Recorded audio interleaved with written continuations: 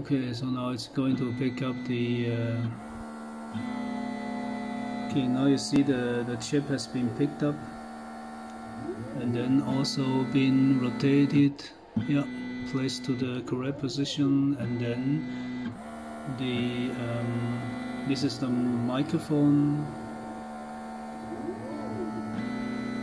And then we will see um, how does it uh, how does it place? Um, let me see. So we can take the camera and then um, to here.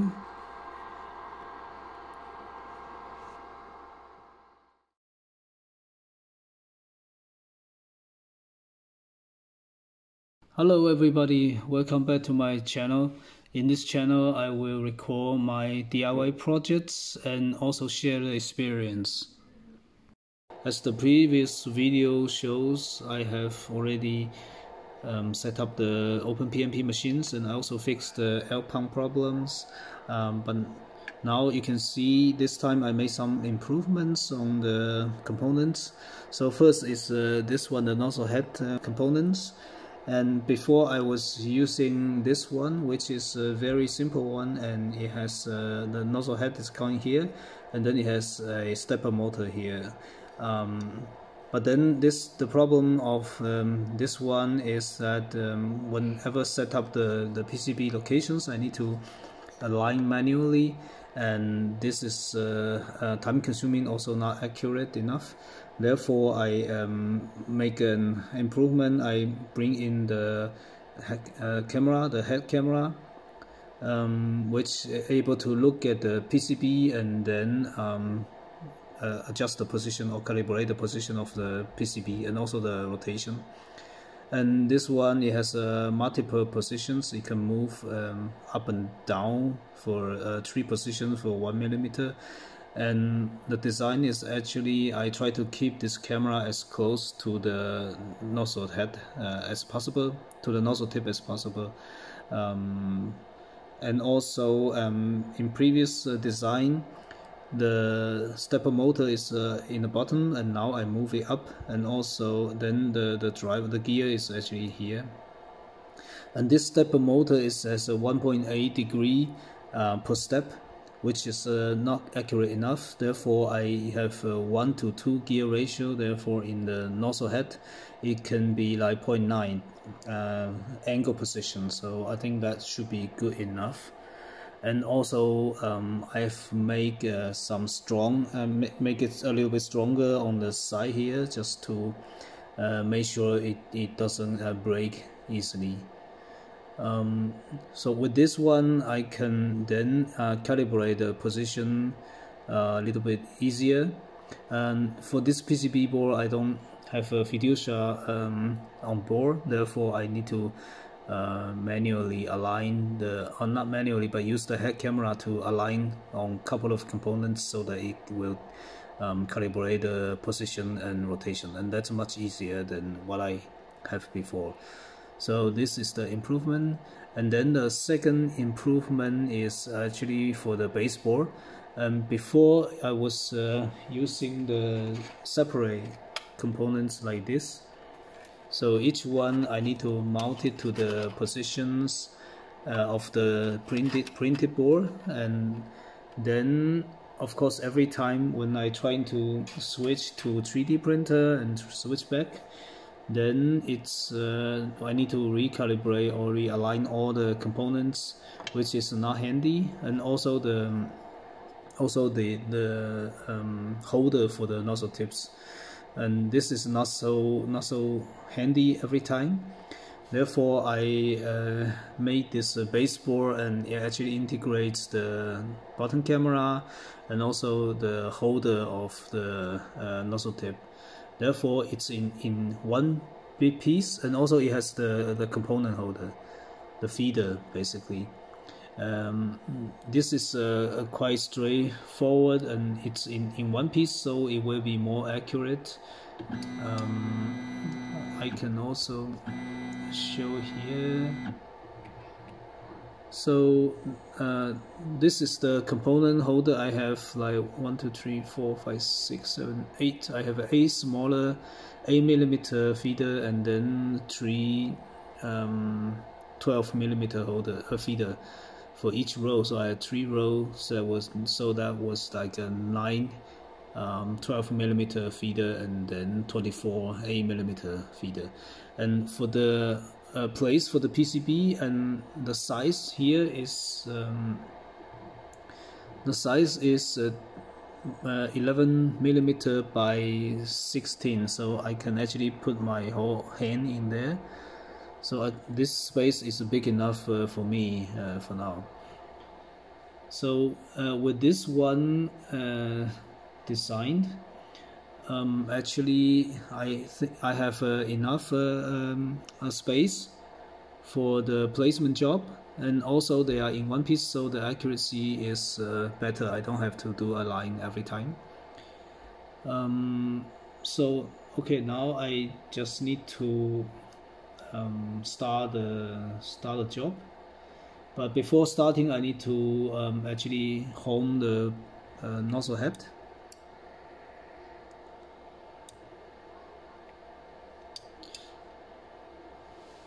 so you can see it's um, it will try to put in the home position first. And then the next step is to calibrate the nozzle tip and I can just click on the calibrate so it will move the nozzle tip on top of the bottom camera and what it does is actually rotating like 360 degrees just to make sure uh, it, will then capture each uh, angle positions and then compensate for the nozzle tip. And after the calibrate, the nozzle head should be um, stay within the square box.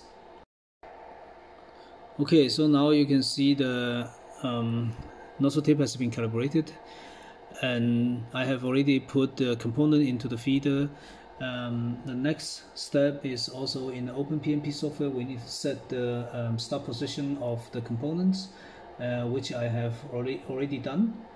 So the next step is I will uh, fire up the job and then um, let it pick up the components.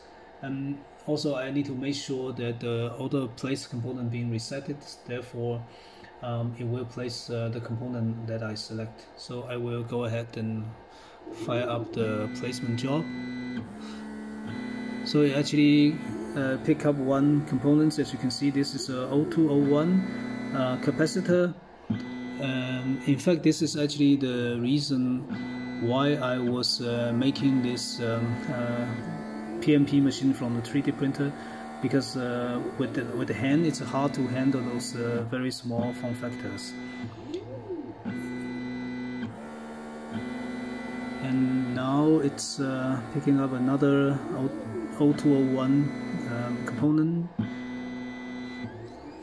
and then the next step is it will um, pick up the um, um inductor.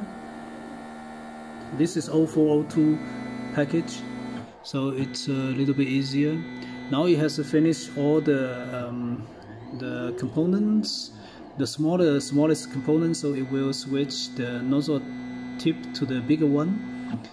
Um, so I have a medium size so it will switch to the middle one which is in the which is the medium size. It's uh, this one. So you can see actually pick up the um, nozzle tip. And then it will do the um, calibration as well.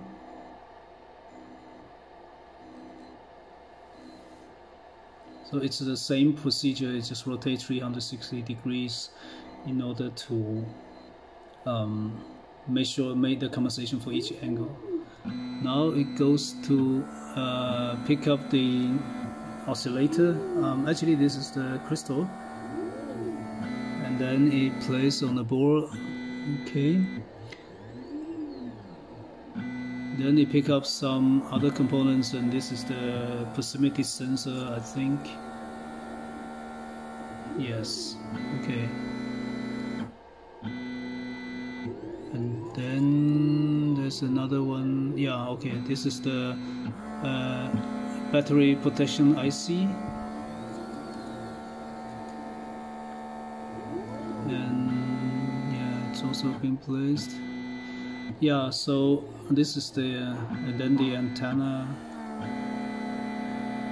Um,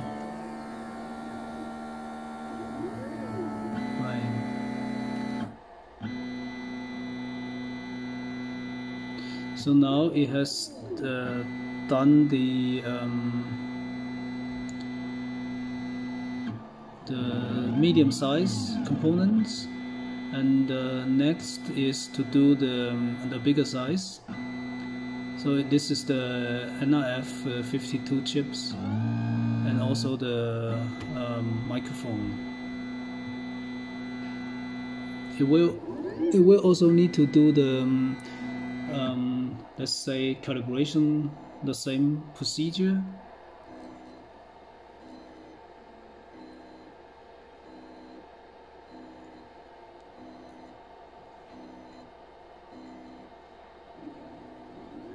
okay so now it's going to pick up the uh,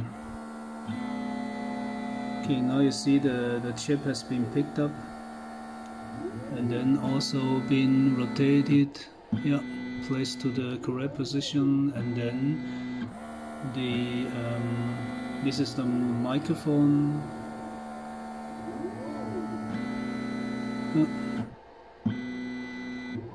okay so now it finished the, the placement here uh, which is good.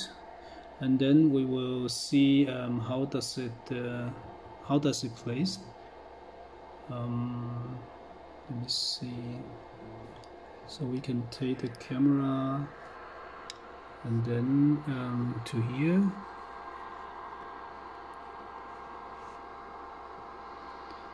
Yeah so you can see that uh, um, it placed the component into the right position especially those ones uh, 0201 um, the 0201 resist uh, capacitors here. This one and also this one and this one. That looks okay. Um, I think they are in position. Of course um, this machine's accuracy is a 0.1 millimeter so it could be a little bit up or a little bit down um, but of course when there is um, when there's a solder paste uh, when we heat it up um, through the uh, process of the reflow then the position will be realigned. So I think it's a pretty good actually. And I have a couple of components not placed yet because uh, it's a short of uh, um, components now. And I've also now put the solder paste so for the next one I will put the solder paste and then um, mount on the chip or the chip uh, um, all in once and then do the reflow. Yeah this is uh, the end of the video. I'm pretty happy with the result right now. And if you think this video is helpful helpful for you just um, um, please subscribe and then um, I will keep updating um, my projects. So thank you very much and uh, see you next time